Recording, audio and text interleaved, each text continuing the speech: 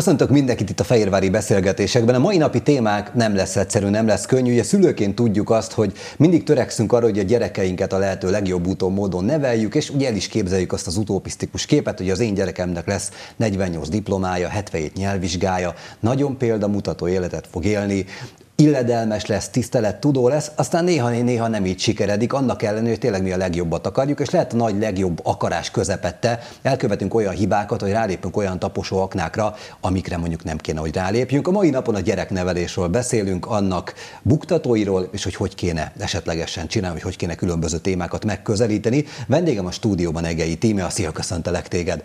Szia Zoli, üdvözlök mindenkit! Nehéz ez a téma. Ugye már rádióban beszéltünk erről elég sokat, még a Vörös Marti rádióban, te Fehérvár tévében még nem beszéltünk erről. Szerintem minden Fehérvárinak, Fehérvár környékének, vagy aki nézi ugye most a Fehérvár TV műsorát, biztos, hogy jól jön egy pár jó tanács, mi az, amit elszúrunk, és mi az, amit mondjuk máshogy kéne csinálni. Gondolkodtam, hogy milyen kérdést tegyek fel, milyen, milyen kérdéssel kezdjem, és igazából nem tudtam eldönteni, mert mindegyik kérdés nagyon-nagyon fontos. Talán érdemes mondjuk a negatívakkal kezdeni. Ugye a mai gyerekekre azt mondják, hogy nagyon elkényeztetettek, életképtelenek, nem találják fel magukat, de bezzeg a régikor gyermekei, akik kijátszottak a szabadban, úgy kell őket berángatni, a szülők nem féltették túl őket, ők sokkal életképesebbek. Ez, ez így van egyébként, így látod? Mondtál egy olyat a felvezetőben, hogy elszúrunk dolgokat. Hát mi szülők általában mindent elszúrunk, amit lehet, gyakorlatilag. tudod, igen. igen. Mindent elszúrunk, hmm. amit lehet, de a helyzet nem reménytelen. Na, és én ezzel a kijelentéssel nem értek egyet, hogy a mai mm. Bezzeg a mi időnkben. Igen, ezt, én, én ezt így nem, nem, nem mm. is szeretem hangoztatni, meg nem értek vele egyet, mert én azt gondolom, hogy minden generációnak megvan a maga erőssége és a maga gyengesége, és ez valahol korfüggő, mert hogy meghatározza a kor, amelyben élünk, a, a fejlettség, gyakorlatilag a, a társadalmi normák meg fogja határozni azt, hogy egy, egy generáció miben nő fel, uh-huh. milyen az értékrendje, mennyire úgynevezett életképes vagy nem. Hát természetesen más világot élünk, mint ezelőtt 100 meg 50 évvel, mások a normák, más irányba fejlődött a világ, és másképp neveljük a gyerekeinket. És az 50 évvel ezelőtt íródott gyermeknevelési könyveken lehet, hogy ma már felháborodnak az De emberek, vagy. Igen, igen. Tehát, hogy azért gondolj bele, hogy régen például verés, mint hm. elfogadott nevelési eszköz, az teljesen hétköznapi dolog volt, és minden, majdnem mindenki élt is vele. Ma már gyerekbántalmazásért feljelentenek, hogyha Így veled van. a gyereked. Én mondjuk nem is értek egyet vele, akkor se igen. értettem. Igen, de ezt tényleg, hogy mondtad, én emlékszem, volt pár osztálytársam még nagyon régen általános iskolában, akiket úgy fegyelmeztek a szülei, hogy apa elővette a honvédségtől lenyúlt nadrágszíjat, elején ugye MH jó nagy felirat, jó nagy csattal, ő ezzel nevelte, anya meg mondjuk eltölte rajta a fakanalat, és igazából tök természetes volt. Természetes volt, tanár kettő taslit lekevert, nekem is egy csomószor. Egyébként egy hétig nem hallottam a fülemre. Ugye, ahogy mondtad, ma már ez lenne, kinyitnák újra az alkatraszt, és életfogytigla bezárnák őket. Ez így van. Még negyedik osztályban mi is kaptunk, az egész osztály kapott nátpálcával tenyerest a tanító nénitől. Igen mert Most. valami olyat tettünk így osztályszinten, amit nem kellett volna, és ez volt a bünti. Uh-huh. Mindenki sorba állt, fölsorakoztattak minket, és mindenkinek rásózott egy nagyot a tenyerére, és boromira fájt, meg kell, igen, hogy mondjam. Igen, igen. Most ez lenne, ugye tényleg akkor ennek meg lennék a maga nagyon de súlyos következményei, de nem is tehát, kell. Hogy, ö, nem vagyok abszolút a, a gyermekverésnek a híve, és hogyha ez eldurvul, akkor az már tényleg bántalmazás. Persze. Ettől függetlenül van, amikor, van, amikor a szülő eljut arra a pontra, hogy úgy érzi eszköztelen lesz, és hogy ilyenkor tör elő az, hogy egy úgynevezett makarenkói pofon, ahogy hmm. szokták nevezni. Nem tudom, hogy jó-e, semmilyen pofonnak nem vagyok egyébként a híve, és én a magam részéről soha nem ütöttem meg a gyerekeimet. Mm.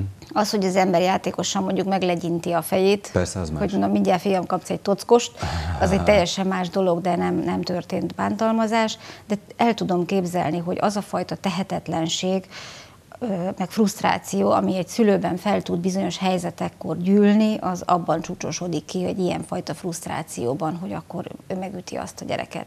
Én nem tartom helyesnek. Uh-huh. Jó, tehát akkor itt a fegyelmezés részét beszéljük most az elején, hogy mondjuk milyen eszközökkel lehet mondjuk a gyereket és csak a nevelés ösztönzésére, vagy hogy tényleg egy jól nevelt gyerek legyen, ugye a szószoros értelmében, mivel tudjuk fegyelmezni, tehát akkor, akkor veréssel nem, mint szakember ugye azt tanácsod, ütéssel ne, hanem lehet ugye különböző szabályrendszerek felállításával, és hogyha megszegi, akkor valamilyen büntetés, ami nem, nem verés például. Hát megfélemlítéssel hosszú távon nem nagyon megyünk semmire, arról nem is beszélve, hogy akkor mit, mit erősítünk meg benne, hogy ő is ugyanígy fog viselkedni, amikor frusztrálódik, és nem lesz más eszköze, ő is oda fog sózni, akár iskolában, akár később valakinek. Tehát, hogy ez semmiképpen nem jó, és teljesen mindegy, hogy mit mondunk egy gyereknek, többnyire úgyis az számít, amit mutatunk, és erről sokszor beszéltünk igen, a igen. rádióban együtt is, meg Imre kollégával is, hogy teljesen mindegy, hogy mit mondunk. Az számít, amit mutatunk, mert mondhatjuk azt, hogy fiam, tiszteld a nőket, aztán a gyerek meg meglesi este, hogy lekeverek egyet az anyjának. Igen. De hogy utána megmondja, hogy tisztelni persze, kell a nőket. Persze, persze, Tehát, hogy nem lesz hiteles, uh-huh. mint ahogy az sem hiteles, hogyha ez a másik példám, amit szoktam mondani, hogy ha vicsorogva mondjuk egy gyereknek, hogy szeretlek, akkor mit fog el elhinni. Igen. Azt, amit mondunk, vagy azt, amit mutatunk. Uh-huh.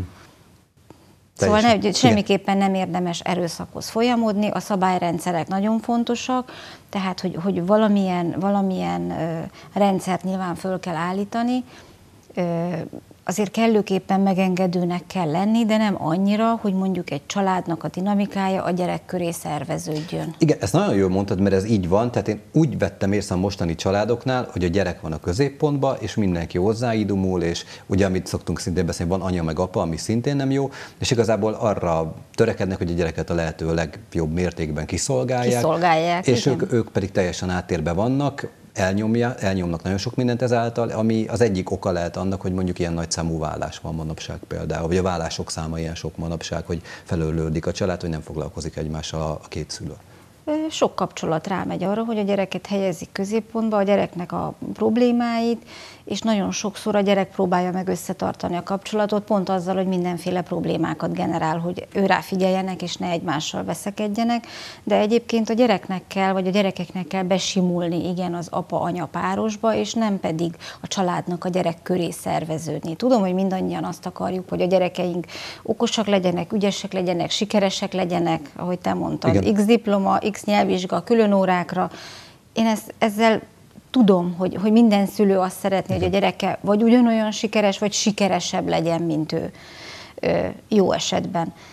Viszont nem biztos, hogy ez a módszer, ez a jó módszer, hogy egyrészt mindent mindig megadok neki, és hogy köré szervezem az egész életem, hogy ő el tudjon járni jazzbalettre, táncórára, zongorázni, angolórára, ilyen edzésre, olyan edzésre. Főleg a két gyerek van, ugye a család osztódik ketté, és akkor igazából nem is találkoznak, te este tízkor hót fáradta. Egyrészt, másrészt pedig azért egy olyan családmodellben, ahol mind a két szülő keresete fontos, és nem úgy alakulnak a dolgok, hogy az anya otthon maradjon, Persze. és semmi más feladata nincs, mint a gyereket innen, mm. oda, onnan ide vinni, hanem mindenki dolgozik, azért ott meglehetősen nagy logisztikát, meg összedolgozást és szervezést igényel, hogy ezt meg tudják oldani. Meg lehet oldani, de mondom nem úgy, hogy a gyereket kell minden áron középpontba helyezni.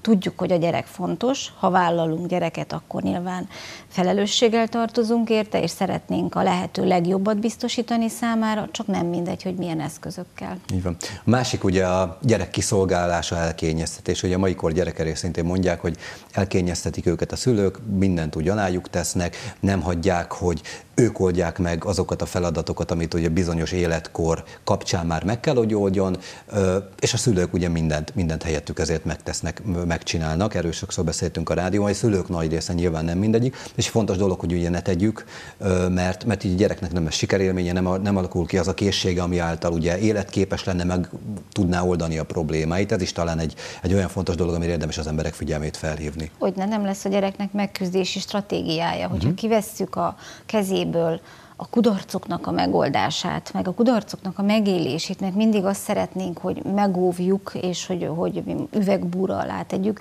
Természetesen a szülőnek kétszer annyira fáj, hogyha a gyereknek baja van, Persze. mint magának a gyereknek, és hogy szeretnénk őket megóvni, szeretnénk őket megkimélni minden olyan helyzettől, ami fájdalmat okoz nekik, de nem lesz megküzdési stratégiája, nem fogja tudni, hogy mit kezdjen adott esetben. Külső kontrollos lesz, soha nem fogja érezni, hogy mi az ő felelősség felelőssége, mi a más felelőssége, és nem fogja tudni megoldani. Nem fogja tudni, hogy meddig terjednek az ő határai, képes-e valamit megoldani, mert ő mindig ott volt anya vagy apa, aki megoldotta helyettem, és egyszer csak vissza akarok menni majd gyereknek, amikor fölnövök, de majd rá kell jönnöm, hogy nincs hova visszamenni gyereknek. Mhm. Viszont bele fogok ragadni egy olyan felnőtt és gyereklét közötti köztes állapotba, ahol problémám lesz az elköteleződéssel, problémám lesz a felelősségvállalással, és így leszek idézőjelesen életképtelen felnőtt. Hmm. Gondolkodtam még adás előtt, ugye a fegyelmezés, illetve a gyerekek elkényeztetés, amit általában ugye lehet hallani manapság a mai gyerekekre, amit mondanak, ugye a szülőket. Hát nem is ostorozván, de inkább felhívván a szülők figyelmét, hogy nem biztos, hogy ezt ennyire kéne. Mi van még, amit te ilyen, ahogy szoktam, hogy taposó aknának látsz, amit a szülők nem feltétlenül jól csinálnak? Hát ez a fajta... Ö- egocentrikusság, ami a gyerekeknek úgyis a sajátja, Igen. amúgy is sajátja egy bizonyos korig, Igen. hogy ezt erre még jobban ráerősítenek. Uh-huh. És a gyerek abban fog fölnőni, hogy ki, ha én nem. Tehát, hogy egy kicsit azt látom, hogy nagyon sok szülő elköveti azt a hibát, hogy abban neveli a gyereket, hogy minden gyereknek van joga, de nincs kötelessége. Igen, igen, ez nagyon nagy hiba, tényleg így van. És hogy nem hmm. az van nagyon sok helyen, hogy mondjuk, hogyha panasz érkezik rá az iskolából egy példa, hogy bemegyek, és összedugom a fejem a pedagógussal, és megbeszéljük, hogy mit tudunk tenni. Mi az ő feladata, mi az én feladatom, mert nyilván van, ami a család feladata, nem háríthatunk mindent a tanárokra, Persze. az iskolára, az iskolai nevelésre és tehát, hogy nem ez történik, hanem beront a szülő, leordítja a tanárnak mm. a fejét, már pedig az én gyerekem így meg úgy, és hogy ezt látom, hogy egyre több edzésen Igen. ez történik, összevesznek az edzővel, miért nem játszik a gyerek, mérül kispadon, mert az én gyerekem a legszebb, a legokosabb, legtehetségesebb, értem az elfogultságot, minden szülőben kell, hogy legyen Persze. ilyen elfogultság, de szerintem nem szabad átesni a lónak erre az oldalára, hogy akkor megyünk és helyette egyrészt megharcolunk, másrészt pedig olyan dolgoktól védjük meg, meg, amitől nem kellene. Tehát, kell, kell a, tehát meg kell tanulja a gyerek, hogy a tetteknek van következménye. Ettől függetlenül vannak olyan helyzetek, amikor ki kell állni egy gyerek mellett. Vannak igazságtalanságok, vannak olyan helyzetek, amikor a gyerek azt kell, hogy érezze, hogy ebben a helyzetben ott van mögöttem a családom, aki akár segít nekem küzdeni, nem helyettem, mhm. segít nekem küzdeni. Vannak, vannak igazságtalanságok, nyilván te is tudod, de ne essünk át ebben sem a ló másik oldalára. A másik a tiszteletet szokták még, hogy a, de szerintem minden generációra mondják, hogy ezek a mai fiatalok tiszteletlenek, bezzeg az én időmben tudtak köszönni, tudtak az ember szemébe nézni, előrengették az idősebbet, ezt is gyakorta lehet hallani. Most is sokan vannak, nagyon sok hmm. olyan fiatallal találkozom, munkámból kifolyólag is, meg egyébként is, a fiam korosztálya 15 évesek, tisztelettudóak, hm. kedvesek, értelmesek, olvasottak, tájékozottak, tehát olyan dolgokról vitáznak. Tehát, hogy én azért mondtam, hogy én nem értek ezzel egyet, hogy ők egy elkorcsosult, mhm. elfajzott generáció. Természetesen vannak kivételek, a mikorunkban is voltak Persze. olyanok, akik rosszabbak, Persze. idézőjelben rosszabbak, ilyenebbek, olyanabbak voltak. Alapvetően szerintem most is nagyon sokan vannak. Az, hogy más más dolgokra helyezik a fókuszt, és más dolgok fontosak számukra, ez természetes, hiszen fejlődik a világ, senki nem marad ugyanez. Gondolj bele, hogy te életed során mennyit változol. Mm. Hát még így akkor generációról generációra azzal, hogy, hogy a technika is, technológia is fejlődik, ezek a gyerekek beleszülettek valami másba, és nekünk szerintem ezt tudomásul kell venni, és föl kell zárkózni hozzá. Tehát nem ragadhatunk le mi sem az 50 évvel ezelőtti normáknál, mert hogy csak az a jó. Akkor soha nem fejlődött volna a világ, és akkor minden generáció idézőjelben selejtes lett volna az előzőhöz képest, hogyha így gondolkodunk. Igen. Mondom, vannak negatív kivételek, de ez minden korban így van. Hm. Említetted a technikát, technika fejlődését, ugye a másik, amit szintén lehet a digitális eszközök, hogy a fiatalok egész nap nyomkodják a telefont, különböző okos készülékeket, és, és el vannak ezzel, és nagyon nehéz őket leszedni erről a dologról. Te mit látsz, hogy mit tudnál szakemberként tanácsolni a szülőknek, hogy mi az, ami még elfogadható, és mi az, ami mondjuk már nem elfogadható, mondjuk időmennyiségben, vagy bármiben ezen a területen? Hát most ez különösen nehéz, tekintve az elmúlt időknek a... Igen, főleg, igen, digitális távoktatás. Így igen. van, ezt az online felületet, ami most még nagyobb hangsúlyt kapott, és szerencsére, hogy volt, mert nagyon sok mindent igen. meg lehetett oldani, ebben is meg kell találni azt a fajta arany középutat, a szülőnek is, megint csak a példamutatás, tehát hogyha a vacsora asztalnál mindenki nyomogatja a telefonját, akkor nem elvárható Igen. a kamasztól, a tinédzsertől, vagy a fiatal felnőttől, hogy ő ne tegye. Tehát Jogos. egyrészt ezt látja, másrészt, hogyha a szülő, tehát ha abban szocializálódik a gyerek, és arra tanítja a gyereket, hogy akkor most letesszük, tisztelet, étteremben nem telefonálunk, nem ordibálunk hangosan bele a telefonba. Amikor leülünk együtt vacsorázni, ebédelni család, akkor sem nyomkodjuk a telefont, beszélgetünk, egymásra nézünk, szemkontaktust Igen. teremtünk, és megtanítjuk a gyereknek, hogy mennyire fontosak a személyes kapcsolatok, akkor nem fog átesni a ló másik oldalára.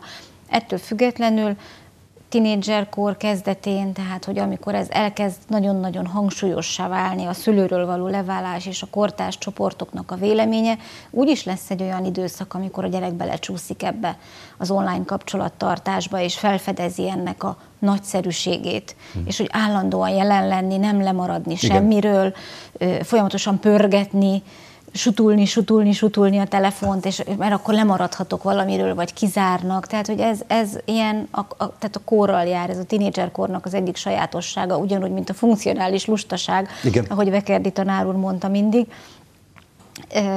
Le, le, leszedni őket róla, nem fogjuk tudni sosem, mert ők ebben nőttek bele. Ez az ő életüknek a szerves része. És ha belegondolsz, már a miénké a is. is. így van. Tehát e- ez akkor az erről szól, sőt, még jobban erről fog így szólni. Van, erről szól, és egyre, tehát a sok kütyű helyett van egy okos kütyünk, ami, amivel mindent lehet gyakorlatilag csinálni. Mm. Lassan már a ruhánkat is ki lehet vele vasalni. Hát lassan, igen. És, és tehát akkor ha mi nem tudunk meg lenni nélküle a gyerekektől, miért várjuk el? Uh-huh. Akiknek tényleg nagyon pici koruktól kezdve, nem mondom, hogy feltétlenül jól vagy helyesen használva, de jelen van az életükben. Igen. Mindenhogyan. Ugye előtte mumus volt a tévénézés, videózás, DVD nézés, hogy mennyit ül a gyerek a tévé előtt. Mi magyarok rengeteget, rengeteget ülnek a tévé előtt összehasonlítva, nem rengeteg, rengeteg országgal összehasonlítva, ha nézzük az eltöltött időt. De ezt most már átvette akkor az okos készülék, a tablet, a különböző játékok. Hmm, nyilván meg kell találni, mint mondtad, az egyensúlyt, hogy ne menjen azért se a mozgásrovására, az is nagyon fontos. Nyilván ezzel is kell foglalkozni, mert, mert minden munkának már szerves része ez a dolog. Tehát tényleg, amit mondtál, az arany középút mindenben, csak nem mindig egyszerű ugye szülőként ezt a gyerekkel elhitetni, tudatosítani, hogy mondjuk a, az itt bevetett szigor, mondjuk, hogy elveszem a kezéből ezt az eszközt, ez az ő érdekeit szolgálja. Akkor nyilván nem ezt fogja érezni, Igen. akkor nyilván lázadni fog ellene. Tehát így nem győzöm tényleg hangsúlyozni, hogy alapvetően a szülőnek a példa meg a mintamutatása lesz a mérvadó, illetve ami még egy fontos mozzanat, hogy az új kor, meg ezek az új dolgok, új problémákat is vetnek fel. Itt van például a virtuális autizmus. Uh-huh. Ez a jelenség, ja, hogy a, a pici gyerekek, tehát 0-3 év közötti gyerekek, ha nagyon sok képernyőt néznek, és ez most nem csak a tévére vonatkozik, hanem telefon, tablet, uh-huh. akkor egy, egy ilyen virtuális autizmus nevű jelenséget, mert betegségnek nem mondanám, hmm. egy ilyen jelenséget vagy tünetegyüttest fognak produkálni, amit nagyon nehéz a valódi autizmustól megkülönböztetni, mert nagyon szegényesek lesznek a szociális kapcsolataik, érzelemsivárság fog fellépni náluk, és nem fognak fejlődni azok a területeik, a kognícióknak az a, az a területe, ami, ami kell, hogy fejlődjön ebben a korban, ami a, amiért a szürke állomány, tehát az agyunk fejlődése felelős, hanem így ha nagyon egyszerűen akarok fogalmazni, azt mondom, hogy lebutulnak, leegyszerűsödnek a dolgok, ezért fontos a kütyünézés helyett. Természetesen ez bizonyos óraszám esetét, persze, persze. az, hogy 10 percig néz a gyerek valami nekivaló akármicsodát, valami egyszerűsített, színes valamit, nem azt mondom, hogy jó, azt mondom elfogadható, mert elvileg 5 vagy 6 éves korig egyáltalán nem lenne nekik Igen. szabad ö, ilyeneket nézni, vagy sorozatokat, vagy mesét, vagy ilyen játékokat játszani, vagy nyomogatni,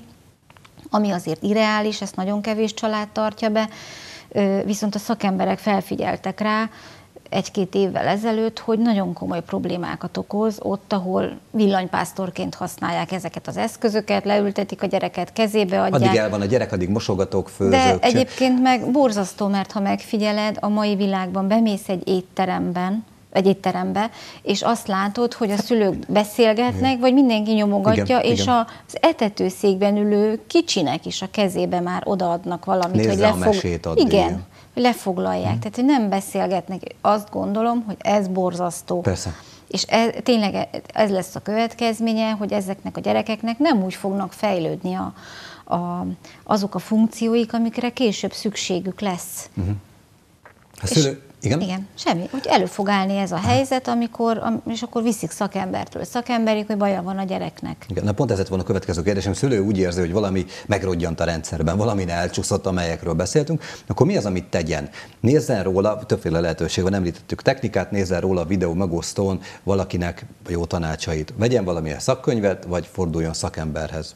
Vagy józan paraszti észsel is gondolkodván ki tud következtetni valami hát, Tudod, Zoli, erről már beszéltünk, kinek mi válik be. Uh-huh. Hogyha valakinek van valami követendő gurúja, és az ő tanácsaira esküszik, akkor nézze meg az újabb videót, és nézze meg, hogy mit tanácsol a gurú, olvasson utána, kérdezzem meg szakembert, keressen föl szakembert, az biztos, hogy nagyon sokszor, hogyha, ahogy te mondtad, megrogy a rendszer, nem feltétlenül kell, a gyereket kell betolni a pszichológus ajtaján, hogy javítsák meg, Igen. Hanem a rendszert kell, mert nagyon jól fogalmaztál, a rendszerben van a hiba. Mm. Lehet, hogy sokkal nagyobb szükség lenne anyának vagy apának pszichológushoz járni, vagy családterápiára mm. járni, mint a gyereket betolni egy, egy gyerekpszichológushoz, hogy javítsák meg, mert a gyereknek problémái vannak.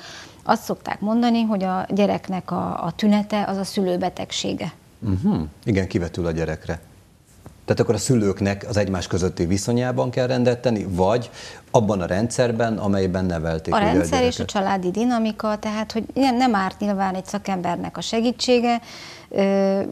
Nálam is előfordult már sokszor, hogy mondtam a szülőknek egy beszélgetés után a kamasszal, hogy nem kell ennek a gyereknek pszichológushoz járni, és így néztek rám, hogy de hát olyan problémás és mondtam, hogy akkor üljünk le együtt egy családi mediációban, és beszéljünk arról, hogy miért problémás a gyerek. Nagyon szépen meg lehet ezeket oldani, hogyha nyitottak rá. Meg hogyha hajlandóak elfogadni, hogy igen, a rendszerben vagy bennem van a hiba, és ezt fogja a gyerek aztán visszatükrözni. Uh-huh. És általában egyébként akik téged megkeresnek, tényleg, ugye kamaszkort mondják mindig egy ilyen nagy-nagy taposóaknának, hogy na akkor őrül meg a gyerek, mikor a hormonok nekiállnak dolgozni, ez tényleg jellemző egyébként, tehát hogy mennyire féljenek azon tévénézők, akiknek a gyereke mondjuk a kamaszkor kapujában, hogy tényleg onnantól, onnantól várható, főleg egy ilyen nagyobb felindulás a gyermekben? Testi-lelki fejlődése olyan turbulenciákat okoz benne, amivel nem tud mit kezdeni. Uh-huh. Természetesen, hogy lehetnek olyan dühkitörései, ami nem voltak, szemtelenebb lesz, jobban szembeszáll a szülővel, keresi a saját identitását. Ez egy természetes folyamat, és nem kell ilyenkor megijedni attól, hogy a gyerek el fog vadulni, vagy hogy a gyerekkel most mi fog történni. Egyrészt ilyenkor a szülőnek is egy kicsit toleránsabbnak kell lenni, mert ahogy én mondom, a gyerek is nevel minket, nem csak mi neveljük a gyereket, és a leges legtöbbet a gyerektől kamaszkorban tudunk mi is tanulni. Uh-huh. Egyrészt nagyon durván görbetükröt mutatnak nekünk, Igen. meg akkor nagyon vissza tudják sugározni azt, amit addig elnyeltek. Uh-huh. Másrészt pedig nem kell ettől félni, azt gondolom, hogy ez egy klasszkor is tud lenni a maga nehézségével együtt. Én a magam részéről imádom nézni, ahogy a 15 éves fiamnak, ahogy nyiladozik az értelme, ahogy reflektál bizonyos dolgokra, az észjárását követni, azzal együtt persze, hogy kamasz, rendetlen, nyegle, szemtelen, mm. stb., de nem csinálunk ebből ügyet. Persze. Sokkal jobban szeretem figyelni, ahogyan változik, mint amennyire zavar mondjuk a szemtelensége vagy a rendetlensége. Tehát ki lehet hozni ebből is a legjobbat mindig azt mondják, hogy kibírhatatlanok, meg hogyha az ember ezt túléli, meg szembe mennek a szülővel. Igen, vannak hullámvölgyek, vannak nehéz pillanatok, de ugyanannyi sok jó pillanat is tud a kamaszkorban lenni, hogyha mi szülők is megfelelően állunk hozzá. Ez így, ez nagyon szép végszó is volt tényleg a műsor lezárása, hogy álljunk hozzá megfelelő módon. Timi, köszönöm szépen Én neked. is köszönöm. És önöknek is köszönöm, hogy itt voltak velünk, tartsanak velünk legközelebb is itt a Fehérvári beszélgetésekben.